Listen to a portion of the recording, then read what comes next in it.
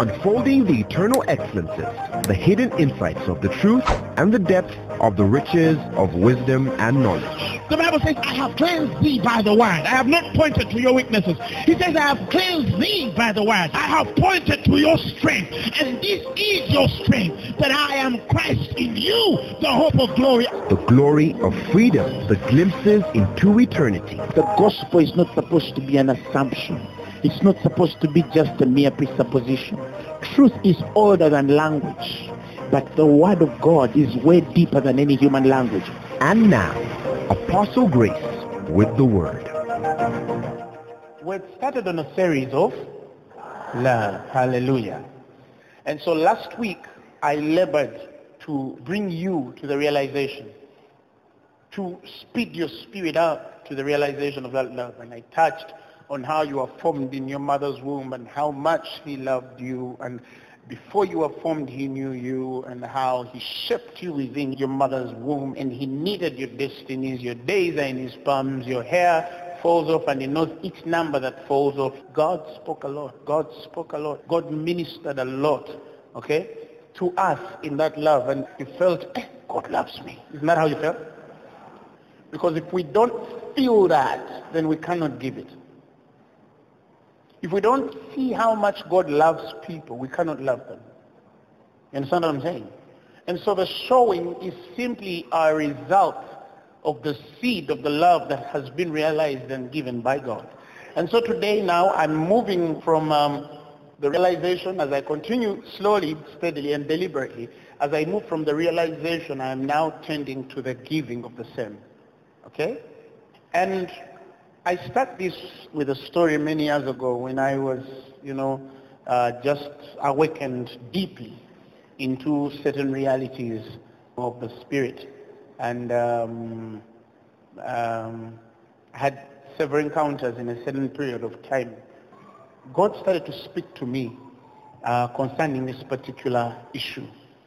And one day he made a statement, very profound statement. And when he made that statement, I sought so as I continued to hear that statement, as the Lord impressed it on my heart, I started to look for scriptural backing because I am someone who respects so much the authority of scripture in any spoken word, prophetic, word of knowledge, word of wisdom, call it whatever you want it.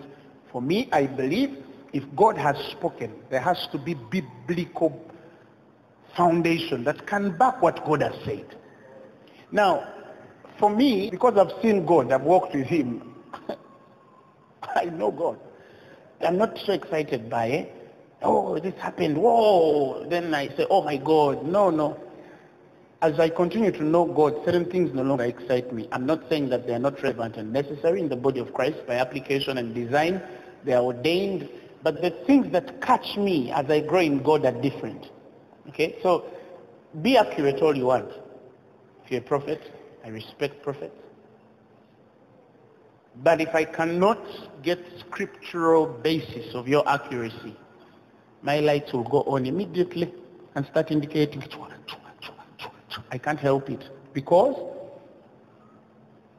the man I learned from many years ago was a man of the word. You get it? He was a man of the word. And it was very deep prophetic, but he was a man of the word. So I don't know any other way. That's how I was raised. I was raised in a way that when you talk about the word of God and the gifts and signs and anointings that follow, do anything you want as long as you have scripture. You can even fly, I'll fly with you.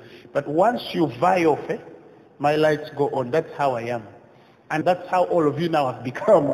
By sitting under this anointing, so even you, I think you found yourselves over that you're not easily moved by, you know, you make the but if you can't pick a revelation, there the lights start going on. You understand? Because that's how we are. That's the DNA we are made from.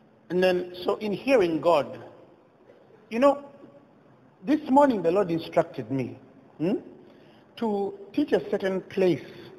Some of you realize that God speaks differently to us. And if you have a certain understanding, God will speak to you a certain way. Every time God speaks for me, the beauty is how the word has knitted itself together with every prophetic word I've had by God. Okay? And now, it's the same thing. This sentence, the statement God gives me those years ago. Simple, simple, simple. I can tell you it's simple. And then during that time, he was ministering to me about love. Was teaching me about love. And I tell people that these are some of the first topics that should be taught in discipleship class. We need to teach people to understand the love of God. First Corinthians, the letters of John, those sermons must be preached. These things must be taught to people when they've just received Christ. They are good for a reminder, but they should be part of the beginning milk. Then later bring remembrance to us. Are you hearing me? And now he made a statement and said, love is the proof of the new birth. Seems simple. But when you say proof, and to understand what I mean by proof, he said love is the proof of the new birth. That's obvious. Yes, it could be obvious to you. But as you continue to study the word, it becomes so deep, so deep. This I'm sharing is going to be simple, but as you continue thinking through, it's going to carry a deeper depth in your spirit. And that will define so much on how you connect with God and with mankind. Now, when he told me love is the proof of the new birth, it's that seal. It's that thing that shows that somebody is born again.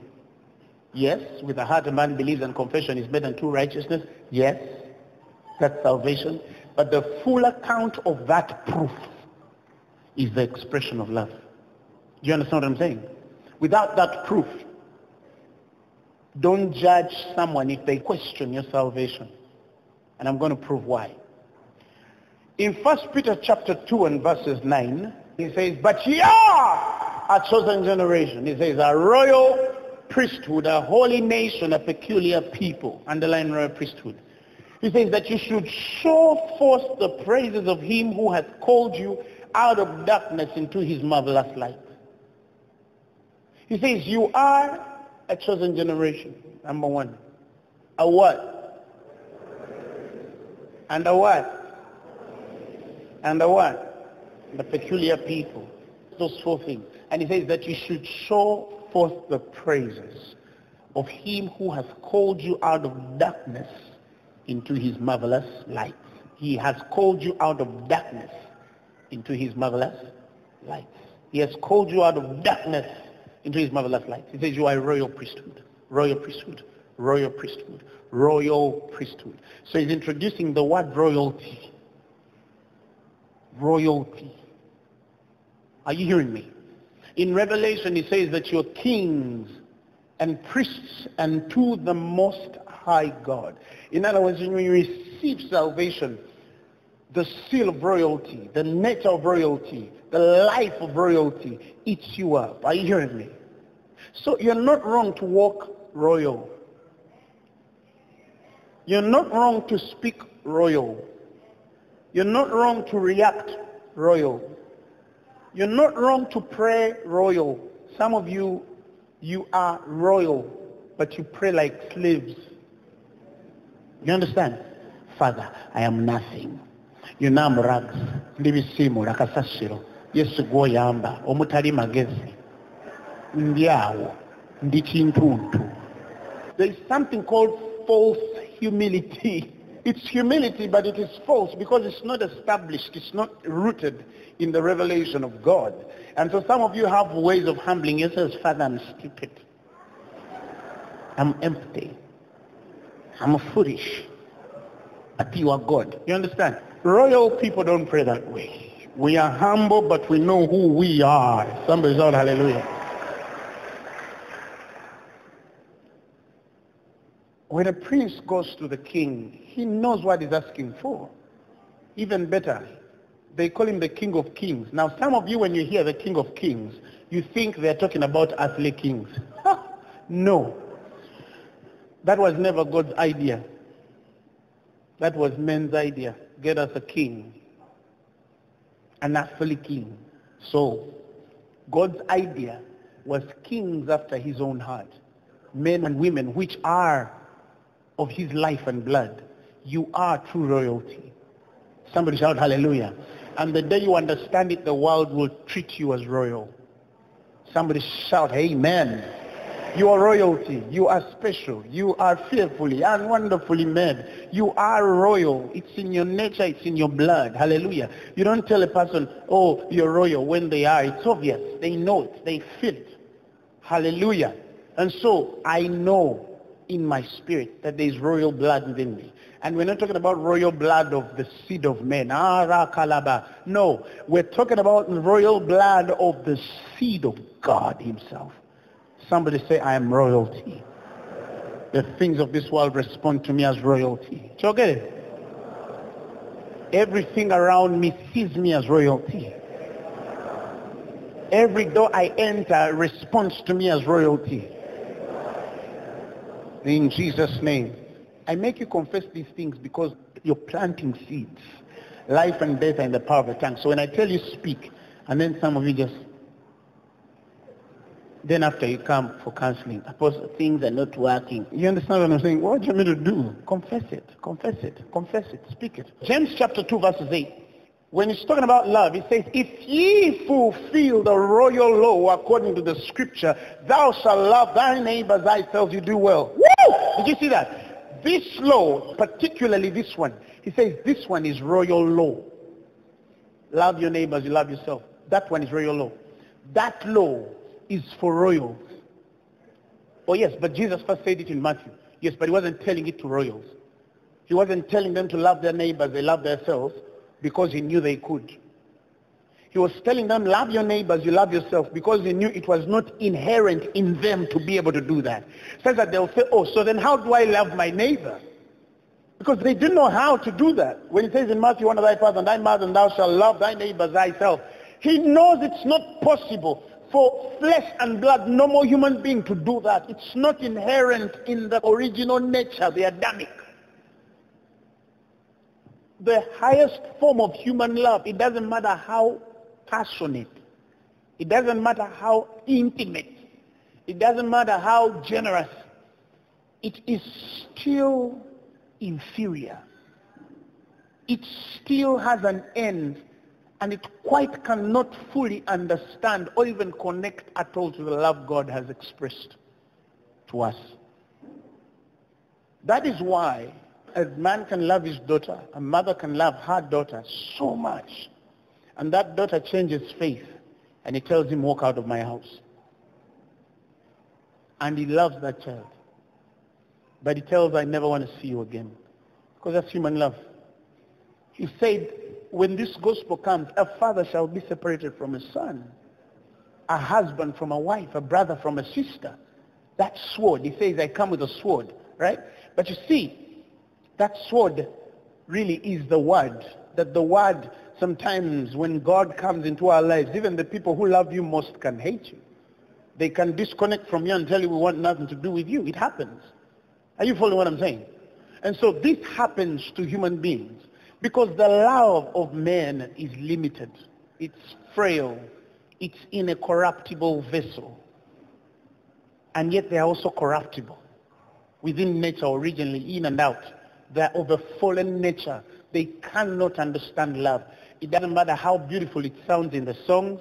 It doesn't matter how beautiful it looks in the movies of Hollywood. It doesn't matter how wonderful it looks in your novels. It is still limited. I mean, they could even die for it and a man can even die in love without even understanding what love is. And that is why sometimes I ask the adding questions, how much deceived are we without even knowing that we are deceived? Because the sons of men are sure they love. But how can they love? How can they understand love when they don't have a relationship with God, who is love? Are you following what I'm saying? It's not possible. It's not possible.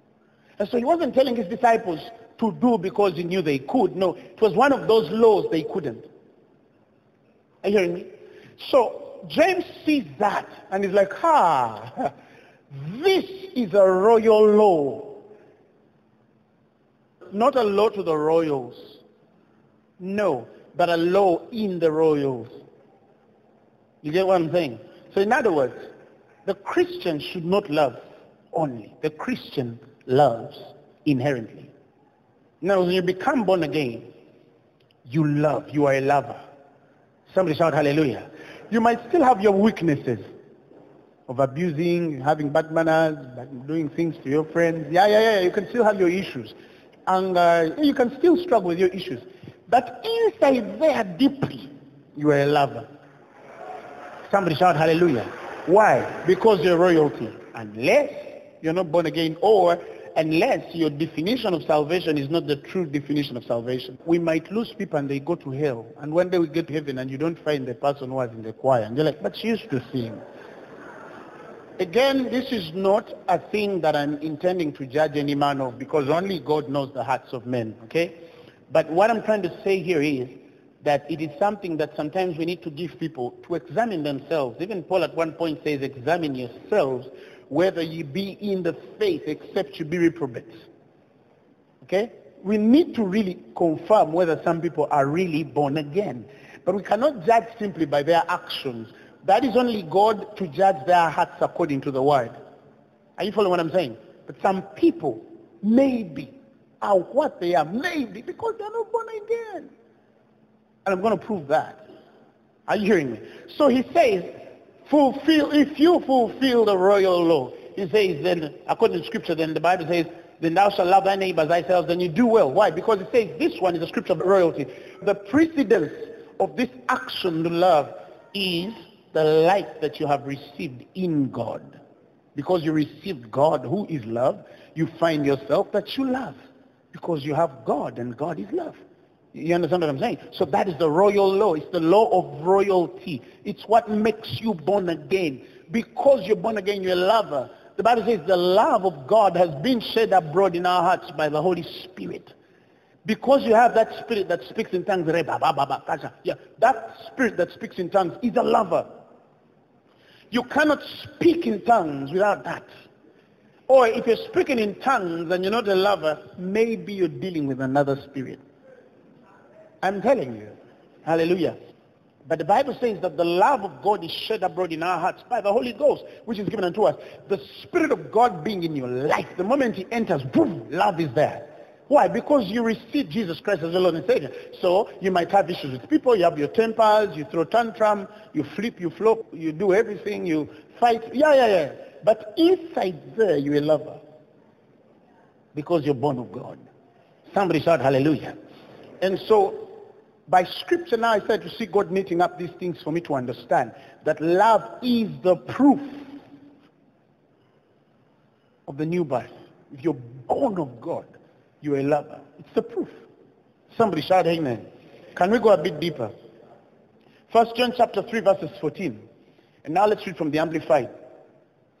I want you to read the first sentence, all of us together. One, two, three, let's go. We know that we have passed over out of death into life by the fact that we make lame men walk.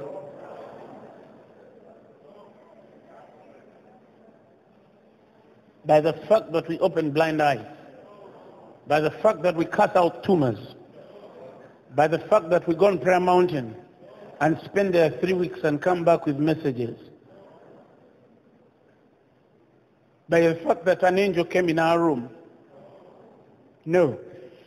He says, we know that we have passed over out of death into life by the fact that we love the brethren, our fellow Christians.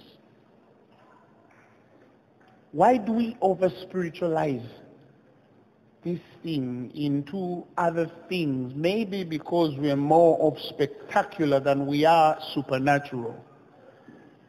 But when we shift from the mind of spectacular and go supernatural, not that we are against the spectacular, but if our spectacular does not define our supernatural, then we are in for a bigger problem. If we are originally spiritual, supernatural beings, then we must understand that out of death into life, that experience of transaction only takes place in the arena and atmosphere of love. When love is evident, then we know that we have passed over out of death into life by the fact that we love our fellow brethren. If you sit there in your life and feel like you can hate or act hateful or do something that would define hate, then you have to ask yourself, are you still in darkness or are you still in light? It doesn't matter how many miracles are working on your life. Because some even come, oh, we did miracles. We opened blind eyes. And he says, uh-uh, go away for I never knew you. You mean we can get to a point where a man will do miracles, signs and wonders, open blind eyes and deaf ears in the name of Jesus? And he tells him, depart from me, I never knew thee. Yes. Because, for example, in Africa, traditional societies, where you were raised before the gospel came, you were traditionalists. You used to do superstitions and you used to do a lot of witchcraft and some of you, you are generations of witchcraft. Physically, we see you here, but spiritually, you have many long lines. Even some grandfathers are claiming you in seventh generations. You're a new creation, but they are claiming your body. Yet you're a new creation. So when we get into church, some of you, your genes are still connecting to the way your grandfathers used to. so you come to church with the mentality of apostle. Check for me. Are you hearing me? Prophet, tell me, who is bewitching me? Why? When? And the Lord revealed. And you understand what I'm saying? You get my point? That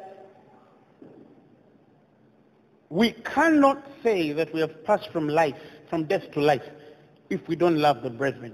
And he continues to say, he who does not love abides, remains, is held and kept continually in what? In spiritual death. That means when you walk out of love, you're dead. You just don't know it, but you are. And how a person starts speaking in tongues, fasting, God, why are you working for everyone except me? And then you look into this dear man's heart, this dear sister's heart, and they are full of hatred. They are working with anger. And they somehow think God is going to bypass that. Eh? And put someone in their lives to pay the price of their anger. I'm telling you. I'm telling you. Some of you are asking for husbands.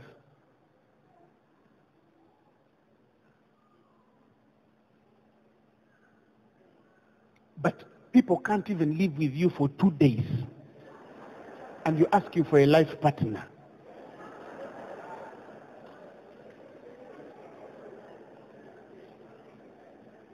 Two, they're enough. Everyone in your life is wrong except you. Do you understand what I'm saying? How are you going to run marriage?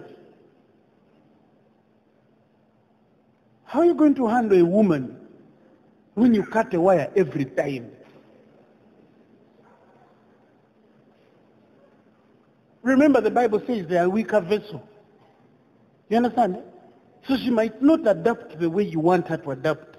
You understand how? How are you going to manage? You get my point? What are you asking for? You get my point? And, oh, but me, Apostle, me have prayed. okay, stop praying. Love.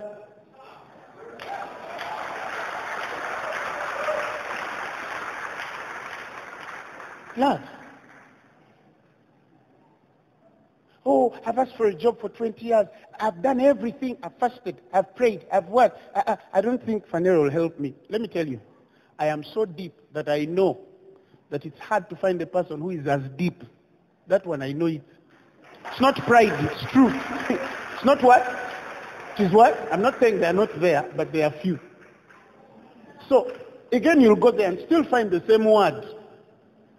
Because you can run from a church, but you can't run away from the. You understand what I'm saying? So how then do you walk in spiritual death and expect God to operate on your behalf and think that there somehow someone will wire a job on you? How? It's not possible. Some of us, the reason why we don't have the results that we should have is because inwardly we are dead. Outwardly, yes, we act like, but inwardly we are dead people. Why? Because we don't walk in the royal law. I told people, when you don't walk in love, you die. But some people never understood me right there. You may not die physically, but everything around you can start to die and you don't know why things are not working. And you think maybe I need an extra prayer, a deeper prophetess, a deeper apostle, a separated teacher. Do all that. You realize that the word is the word. This thing, he says, if you do not walk in love, he says, you remain held, kept, and continually in spiritual death. Can you give life to anything when you're dead in the spirit? No. Hallelujah. Yet I still believe that because you're born again, that love is there. You're just suppressing it. But it is there. If you're born again, that love is there. Are you hearing me? That love is what? Is there. But God has given you choice to choose to let it work out of you or to stay carnal. Are you hearing me? Somebody shout amen. And he continues to say in verses 15, anyone who hates, abominates, detests his brother in Christ, the Bible says is at heart a murderer. He is or she is at heart a murderer. And you know, he says, that no murderer has eternal life abiding, persevering within him. He didn't say no murderer shall inherit eternal life. He says no murderer has eternal life. That means you're not born again. You understand what I'm saying? Because you say you cannot hate, you cannot detest. And some of you say, I don't hate, but you detest. Detesting is murder. Detesting is murder. How can a Christian greet you and you ignore them? How can they call you to greet a fellow Christian and you say no? How? How? How can you refuse to greet a fellow Christian? How? Listen, no murderer has eternal life abiding within him. No murderer has eternal life abiding in him. If you have eternal life, you cannot murder. You cannot detest. We even greet our enemies. Our enemies. We greet them. I don't mean we're dense or dumb. No. Me, are people, there's a man one time, he spoke every evil thing about me. And I phoned him. Hello, hello, how are you, Apostle? Well done. We are hearing you. I looked at this guy. I was so shocked that I found myself hugging him. Yet the guy hits me left, right, and center on social media. So, because I'm a lover, I just found myself what? Hugging him. And I told him, let me add you more calls. You're pretending, but me, I love for real. And I held him like this. What up? You okay? Yeah, good to see you. But in my heart, I think he was like, oh my God, what was that? Are you hearing me? Because the Bible says when you love those that hate you, you put coals, you heap coals on their head. How are you? Somebody ignores you. Don't stop. Speak louder. How are you? Then they ignore you. I said, how are you? Because you're a lover. You're a what? They have their issues. Let them go with them. Let them kill themselves. But you're not going to kill yourself like that. You understand what I'm saying? It's not right. Now, when he says no murderer has eternal life in him, it means, again, this is a proof of the new birth. When you're born again, there is no way you can hate even those who are most wicked. Even the most wicked, there's a capacity in you for mercy for them. Because they know not what they do. They know not what they do. Somebody shout hallelujah. That murdering thing is the nature of a fallen man. Look at David. David was a man after God's own heart, but because he was not born again, he could get a man, put him on the front line, kill him, take his wife, and not feel convicted at all. That's what the old nature looks like. Are you hearing me? Now, because of that,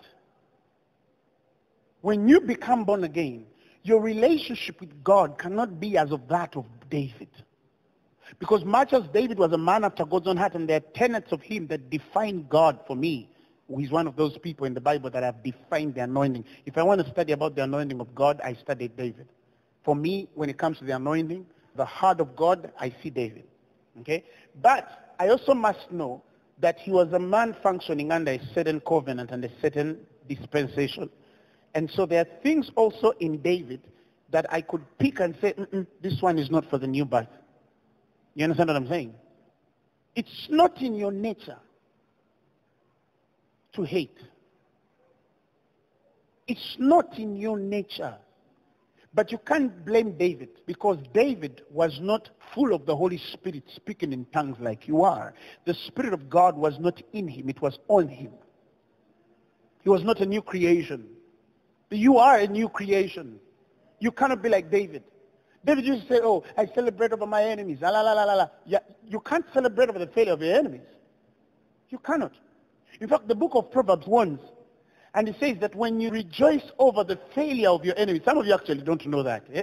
It says, rejoice not when thine enemy falleth, okay? And let not thine heart be glad when he stumbleth. For the Bible says, lest the Lord see it and it displease him and it takes away wrath from him. Some of you, you interrupt God when he's dealing with people.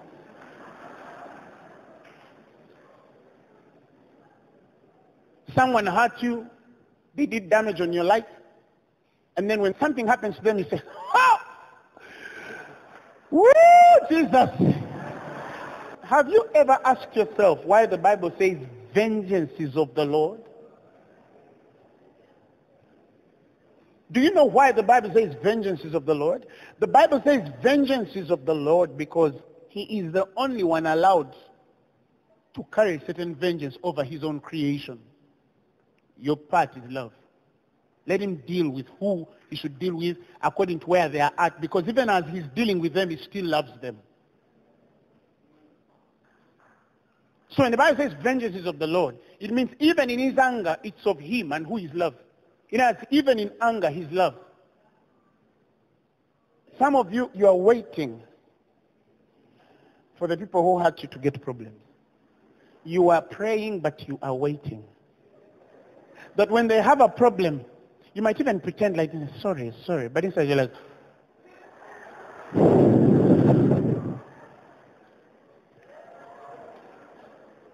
when you feel that, check your salvation. There are people who have treated me so badly. Me, I've been abused in this ministry. Someone even abuses you and speaks a word to you. And you're like, eh. one time somebody abused me. I said, eh, you've abused me? Then they told me, should I add you? I said, I'm telling you, some people are as a result of poor what? Upbringing. So I told her, you know, find another ministry to pastor you. Now, if I hear, because she abused you, she fell into a car accident, then I start to say, ha! Then I turn to my neighbors and I tell them, you know what happened to Gundi when they abused me? They got in a car accident. Abuse me, you'll see. You understand what I'm saying? You know, yeah, you'll see. You know what happened? Yeah. Try. And then you live in the fear of, don't abuse least. We're not supposed to abuse least. We fall into car accidents. No, we're not supposed to abuse because we simply are lovers. and so the Lord knows that if I had anything befell her, I would weep.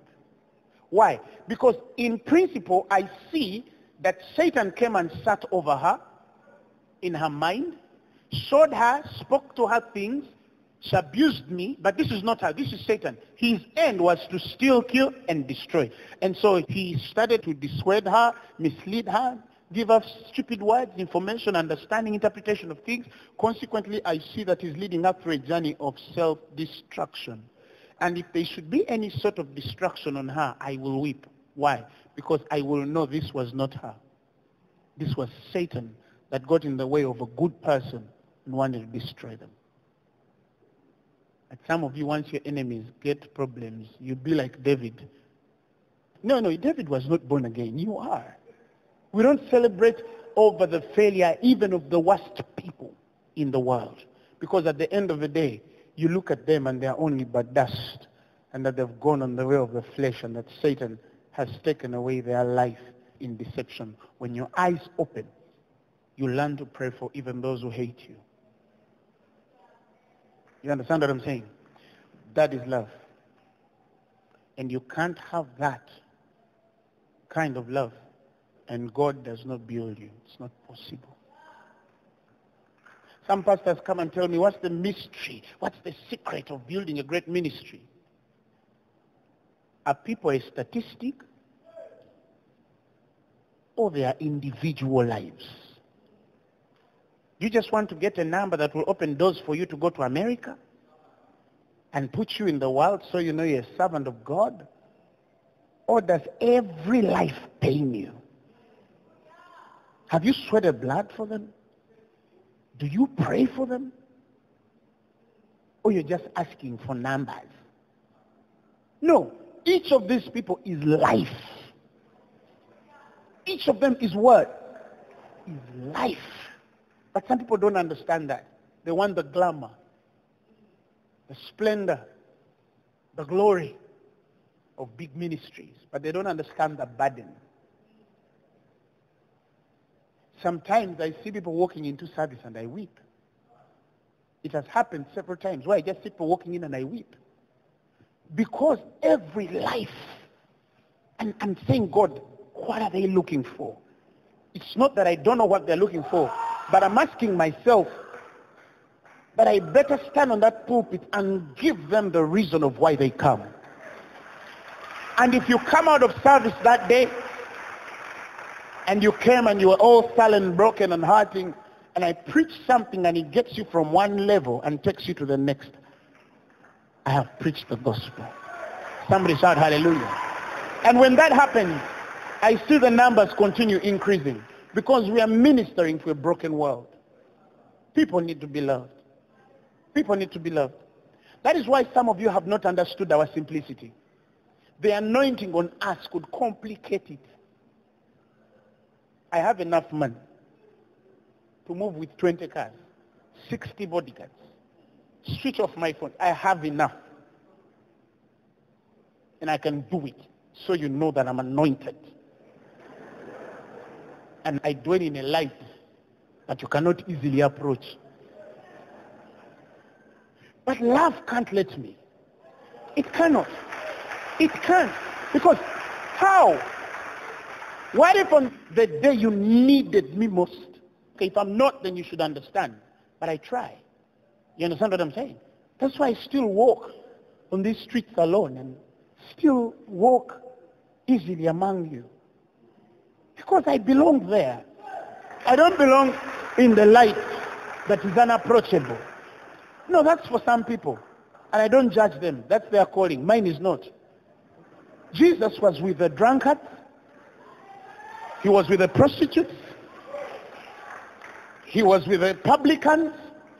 He sat down with the sinners. And for us men of God, we are in a light that cannot be approached. Do you understand what I'm saying? Love takes us back to men. Tell your neighbor it doesn't matter how high God takes you. Never live where God is. And he dwells in people. He does. That is why when he's sick, they can't visit him. Because they're in the closet. When he's in prison, they can't visit him. Because they're in the closet. When he's hungry, they can't feed him. Because they're in the closet. closet. And he says, and whatsoever you did to the least, that you did to me. God is in prison. God is in hospitals. That's where he is. Stop lying to yourself that he's on a mountain. He's not there. God is not on a prayer mountain. There is no mountain he has ever said I will dwell there. Even Sinai, he closed that story. So why are we on mountains? When people die? That's why we street preach. We don't street preach because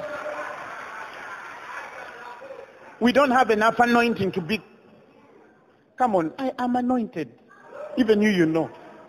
But there's a reason why I get my thing and I got Nakawa. Because that's where Jesus is. Somebody shout hallelujah. He's not in our tinted windows. No, he's on the streets with men selling food. Hallelujah. And that's why I tell Phaneroo members, stay where the people are. Tell your neighbor, stay where the people are. Because that's where God is.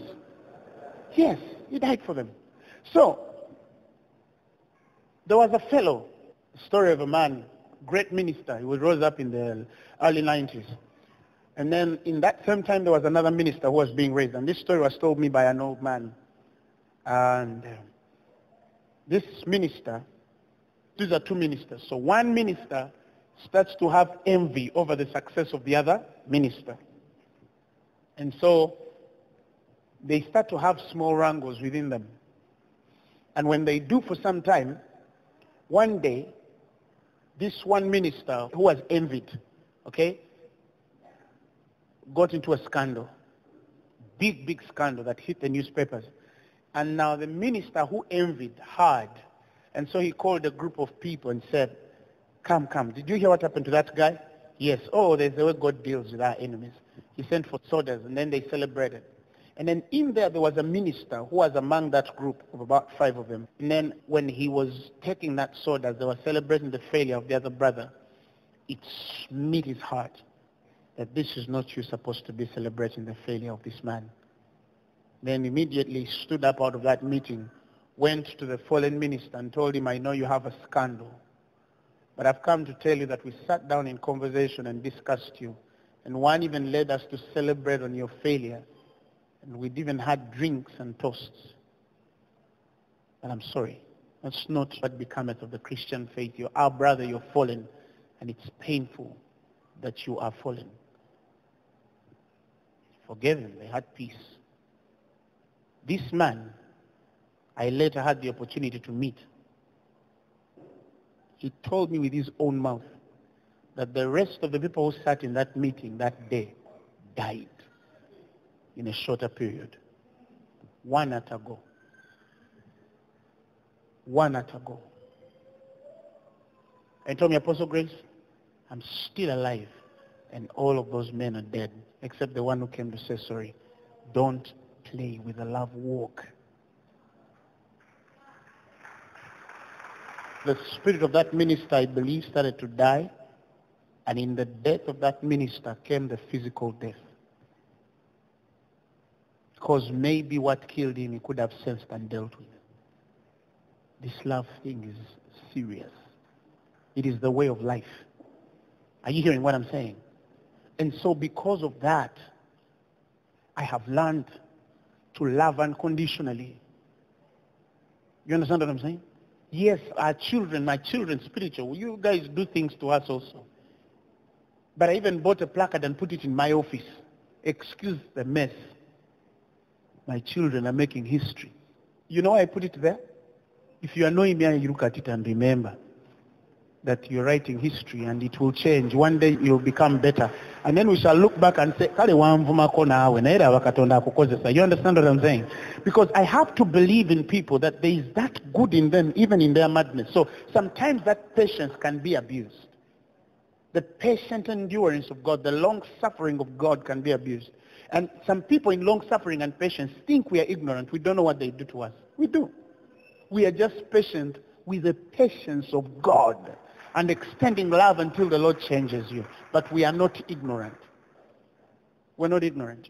We're just trying to do what God wants us to do. And the people who we know do things to us. Someone who you wake up and they blackmail you, they backstab you, they gossip, slander, slander. I tell people that the words of a talebearer, they're as what? They're as wounds. And they go down in the innermost parts of the what? Of the belly. If it's negative, don't say it. If it's a rumor that you have not proved, don't say it. Because Satan moves through rumors. I hate the spirit of gossip and slander because I know what it can do. In 1 AD, Nero burnt third of Rome and gossip and slander started going around that it was the Christians, they killed them by the dozens. They burnt men to stake. They burnt them on mountains. And a story is given that at night you could still see the bones of men burning on mountains. They threw some into gladiator amphitheaters and then animals started feeding on them. They stabbed some until Christianity was destroyed and decimated and people went underground and in the catacombs where people with leprosy used to live. Christianity was wiped off the face of Rome because of one rumor. And Satan has used that to destroy people over the years. Gossip and slander. And God says, when you do that, you're wounding. You're wounding. You're stabbing. If somebody continues wounding, what do they do? What do they do? Answer me. If somebody continues stabbing your back or stabbing your heart with a knife, what happens to you? You die. In other words, that's the heart of a murderer. Every slanderer is a murderer because you're killing people every day. How many are you going to kill? How many people are you going to kill every day? You're killing. And as you're doing that, you go on prayer mountain to separate yourself for a job. You go on a 40-day fast. So God will locate your partner. You go in overnight. So God would consecrate you and use you and anoint you. But every day you're killing, you're killing, you're killing, you're killing, you're killing, you're killing, you're killing. And even after hearing this, you're going to kill another person. Because this is something we can preach for three years and still someone wakes up and stabs another. How many are you killing? How many destinies are you going to destroy? How many marriages are you going to destroy? How many relationships are you going to destroy? How many businesses are you going to destroy? How many friends are you going to break? How many? And you're the one who wants angels to appear too. And if God raises you up, you will kill more. So he's helping you to keep you there. Because the only way he can keep you alive. Please, don't ever sit in a conversation about another believer. If somebody starts sitting, I have a destiny. Why didn't you to them? I tell people, the moment they tell you, tell me, aha, like you've said it, I'm going to take it back so that I don't carry the what? The sin. In fact, many, I ask them, ah, so how long do you want me to give you before you go and tell them? Because me, if I go, I'll tell them that you told me. No, Apostle, I didn't tell you to tell them. Me, I was just telling you that what? That they are this and and that. Oh, can you tell it to your face? No, but I was just telling you as their pastor. No, listen. Even if I'm their pastor, if you have the grace to restore to someone, go to them. If you can't go to them, do what? Pray. Do you understand what I'm saying? But don't discuss people. People are a work in progress. Some people, God is just working on them. But okay, leave them. Leave God's people alone. He will deal with everyone on their own level. And at their own space of time, yes, she'll produce out of wedlock, yes, but God will deal with her and raise her up and still use her. And then you'll stay there, unused by God. I'm telling you, stop it, stop it, stop it, don't. It pains me when I hear people who speak about others a certain way. It pains. Because I see the devil speaking. Some of you, they just give you a simple rumor. This one is this. You don't even prove it. And this one lie? No, it's true. You take gossip. Huh? You start. Can you believe it? I was told. Then you start. And you're fasting.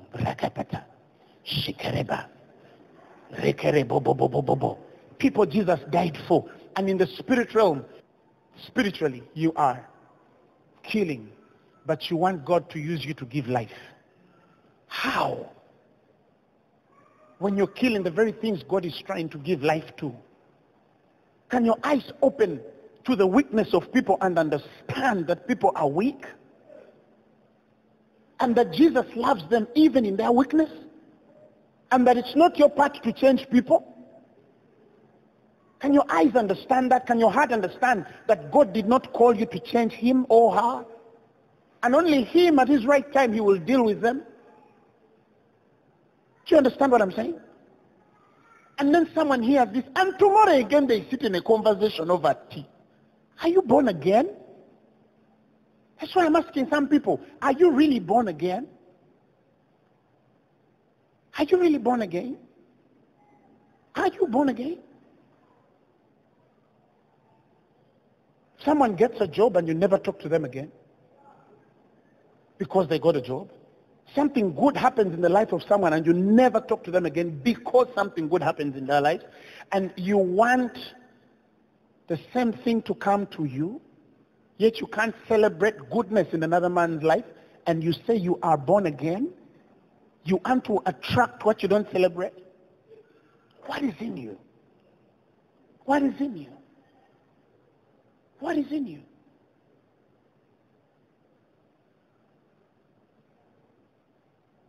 What is in you? Ask people who get married. That discussion always kills me. Do you know you get married and certain people never greet you again? People are married. But do I have witnesses? Someone never talks to you again because you got married. Like, eh? So you loved that person before they were married? And now when good things happen in their lives, that heart has changed and you say you loved? I know people who get jobs and people never talk to them again. They were your friend when you still were working together. The day you got a car, she can't even answer your WhatsApp. Hey? You have redemption. Rakataraba. Pray. Pray all you want. Pray all you want. Pray all you want. But there's something wrong. There's something wrong.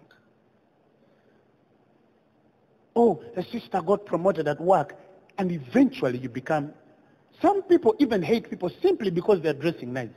Simply. When you are dated, you are okay, but the moment you change your clothes, why her? Why her? And then someone starts to have an issue over a cloth. I rebuke that spirit in the mighty name of Jesus. That is from hell. It's not of God. It's not of God. It's not of God. It's not of God. It's not of God. It's not of God. Saints to look okay. If we are born again, let's be born again. Let's be born again. Let's be a new birth. Hallelujah. If a sister buys a car, give them the first seed of fuel and tell them I'm coming. I know you got it first, but I'm also what? Coming. Why? Because God has given it. Simply, God has what? Given it. Now, if you're even against God's hand to bless another, how then do you want that to come to you? How is it love when she was your friend in poverty? And when wealth comes in her life, she's no longer. How do you say you loved her? Do you understand what I'm saying? You know, some of you love people at their worst. How's that? And then at their best? No, we have to be able to love men at all times. He says, this is the thing. He says in verse 16, by this we know progressively to recognize, to perceive, to understand the essential love. He calls it the essential love because he said he laid down his own life for us and we ought to lay our lives down for those who are our brothers in him too. We have to. You know what it means to lay down your life? It means do not consider the happiness of yourself but the other. If they are happy, have peace. That's the Christian faith. There was a man who went and started talking about me, cult, cult, that one is cult. I even know who laid hands on him, a cult man. Musamchi man laid hands on me, who is cult. I said, okay, this is even deeper because the man who laid hands on me, I'd never met him. Or how he did it in the spirit, I don't know. But some guy commissioned me to cult. So the guy started talking. And so he started speaking a lot. I had everything. What's your comment, Apostle Grace? I kept quiet because the love in me constrains. You know, love what? I had a friend years ago, we were walking together, and then some guy was walking and walked and then he went away. Then he turned to me and told me, Grace, if I was not born again, But the way he said it, it caught my eye. I stayed more curious. I said, what would you have done? He's like,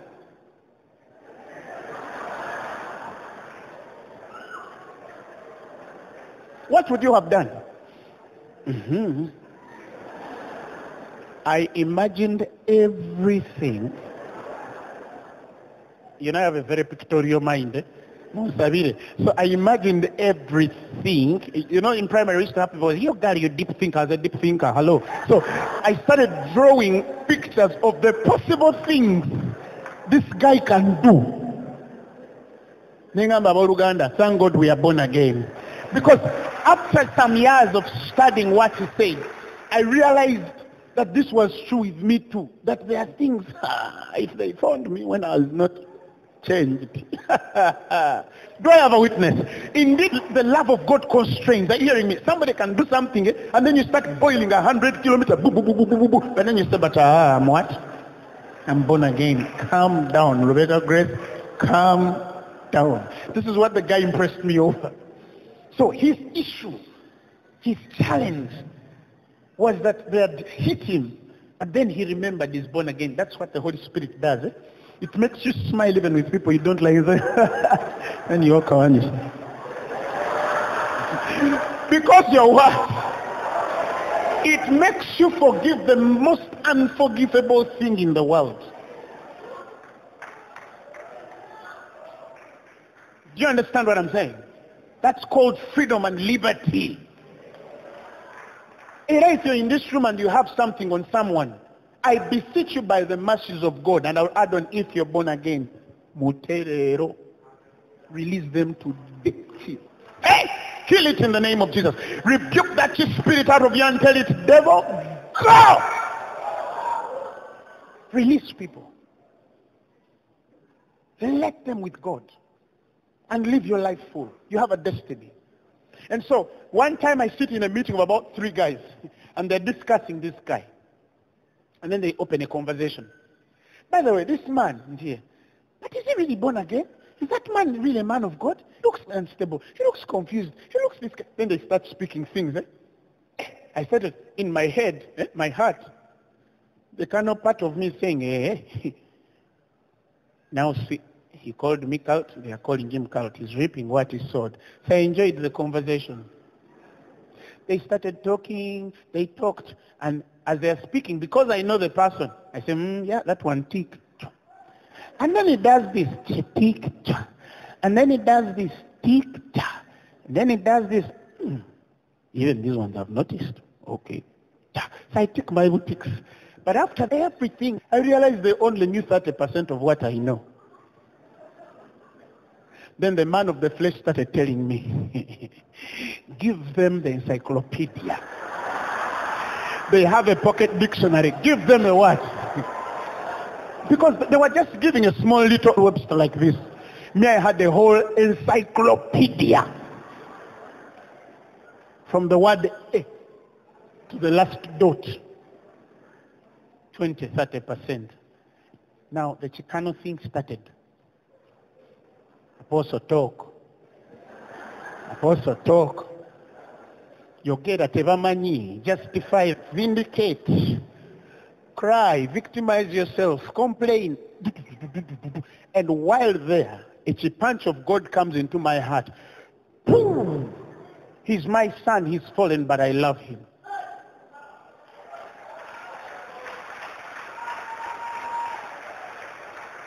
And as though they had finished one guy turns his, but Apostle, you also know the guy. I just found myself saying, I don't think in there is a bad man. In there, there's a guy looking at me talking. He's like,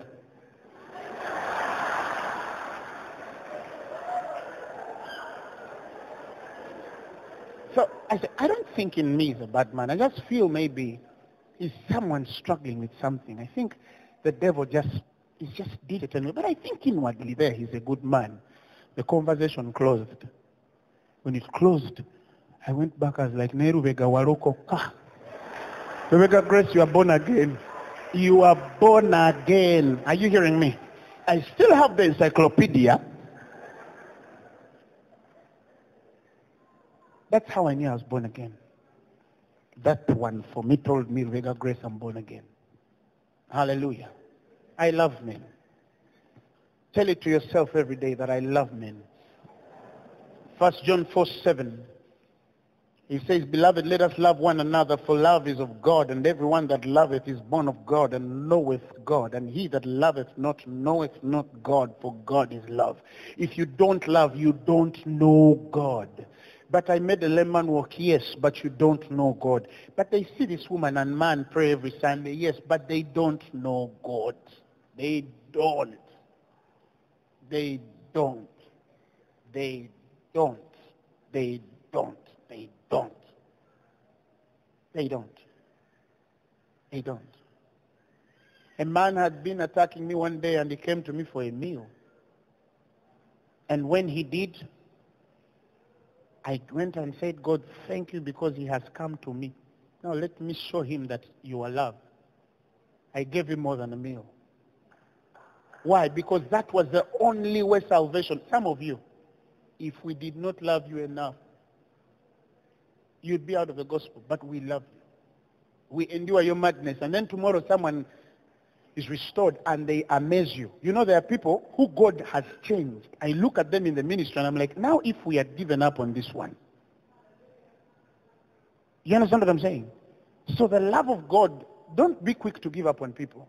Be patient. You will be amazed that out of that madness is a very sober person. Even more sober. There are people who look like they are composed. Nayenga, they are dangerous. They can even poison you tomorrow morning. Nayenga, they have never even hurt a fly.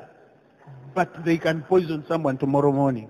So don't judge by what you see outside. Some people are very good people in here. Praise God. And it says, in this was manifested the love of God towards us because that God sent his only begotten Son into the world that we might live through him.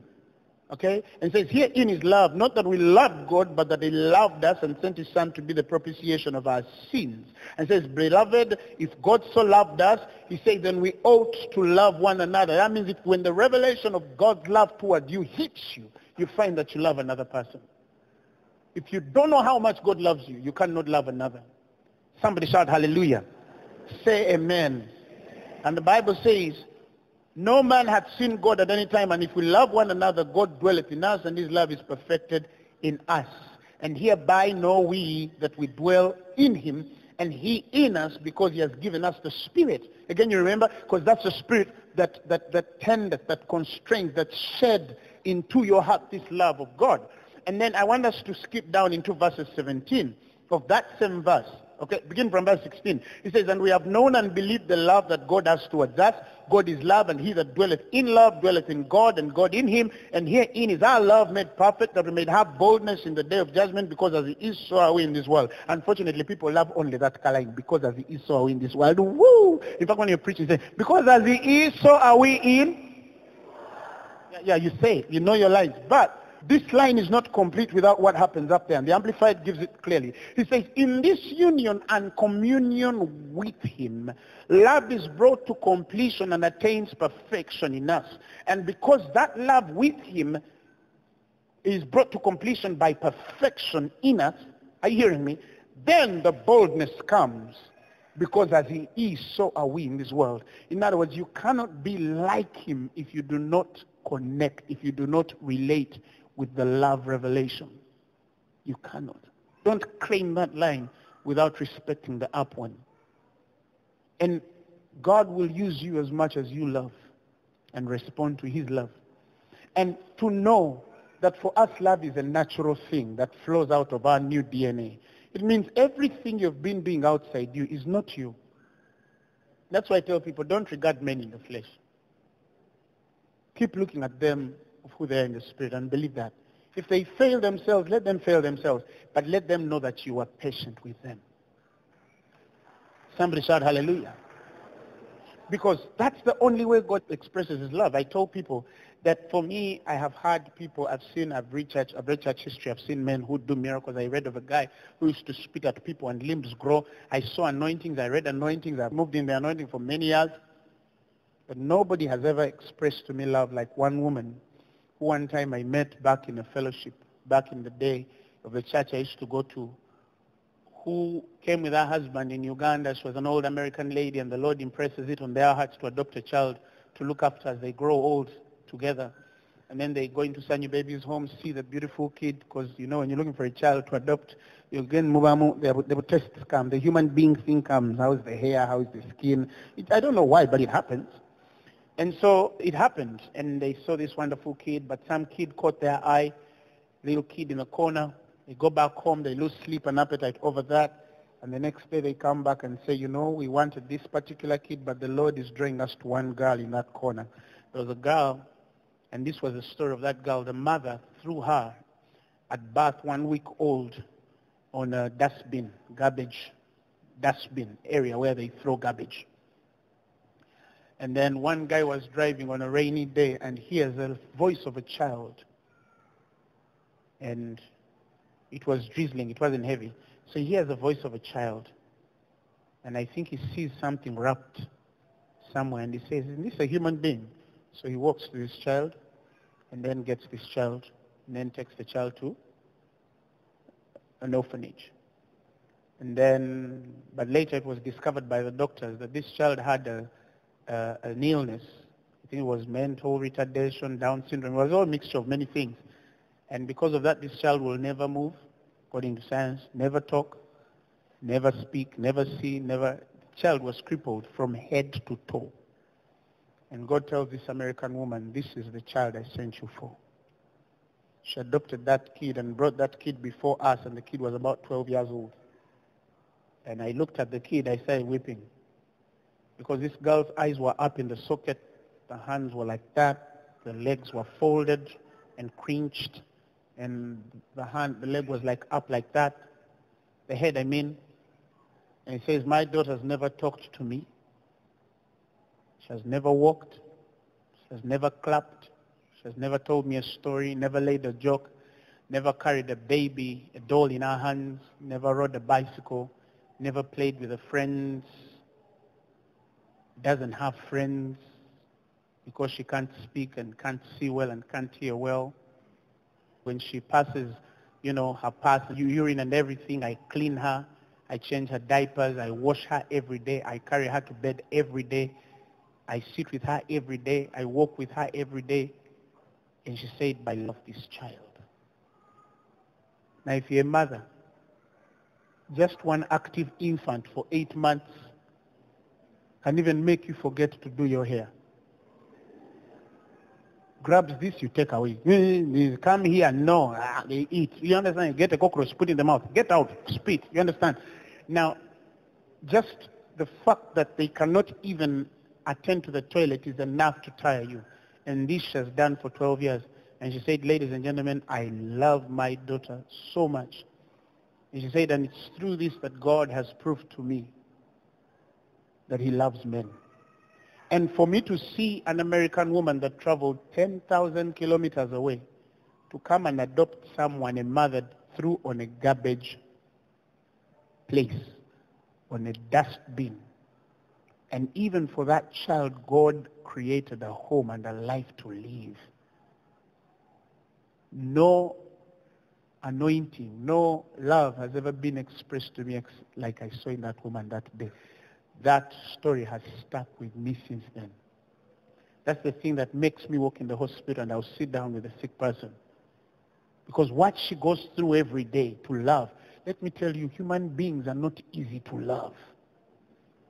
More so when they're not able to do things for themselves. You understand what I'm saying? Even just the layman who cripples on the road and is dirty, some people run away from. You get my point? Because it's just human nature, the old fallen nature. But when I saw this woman do that, for the first time I saw love in its most perfect sense. And no minister has ever ministered to me like that woman. None. Not even the most anointed. Because I saw love. I saw love. unconditional love. I prayed for that. I said, God, eh, that is the thing. That is you. That is so good. Somebody shout amen. May God cause us to love even the worst. This is not supposed to be something new. It's supposed to be a sort of reminder for us and some of those reminders that are timely for God to remind us that we must walk in love. We must walk in love. Open your mouth and talk to God.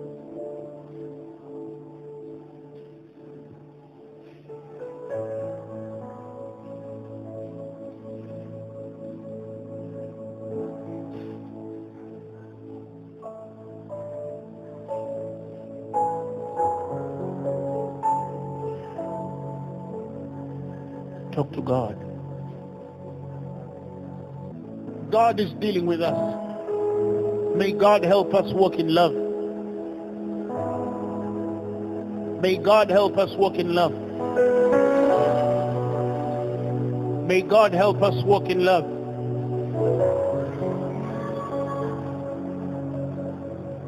May God help us realize just how much He loves us.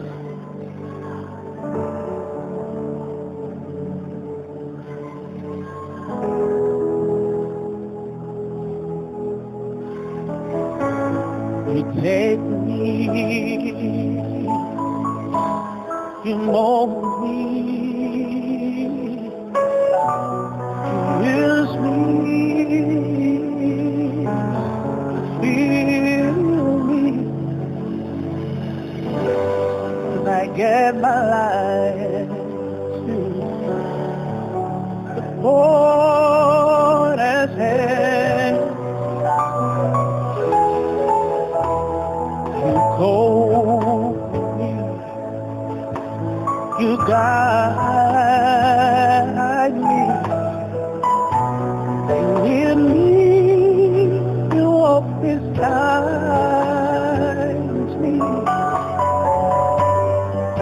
I my life to you.